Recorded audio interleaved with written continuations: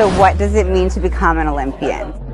Becoming an Olympian to me is bodybuilding dreams coming true. You are at the pinnacle of your career, but you are also setting the standard. To get on the Olympia stage would be the ultimate dream. It would be an absolute dream. Who doesn't want to compete on the best stage in the world? What it would mean to me to become an Olympian again would be to continue to own the power of my why and represent the girls that have journeys just like mine. To keep improving and showing up. Incredibly amazing. I mean, that would just surpass all my dreams. I would be so fulfilled. The best day of my life.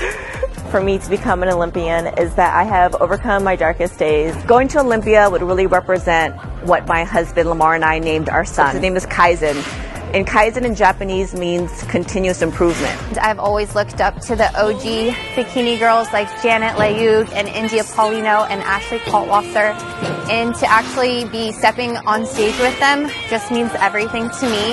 I was able to go to the Olympia in 2018 and it was a, quite a journey to get there and I would be honored to go again because that would mean that I am still at the top of my game and with the best of the best. To be the best among the best. To be considered the top uh, in what we do would be everything to me. This is the next milestone in the pro leagues. This is the next way to set the standard for yourself and to take your physique to the next level. It also is a great way to show others who aren't in the sport what it means to be at the top of bodybuilding. I'm Sierra Swann, the of Champions 2022 IFBB Bikini Pro winner. We are going to the Olympia. Uh, this win means a lot to me. It is very personal. Um, I just want to tell all the girls out there, don't quit.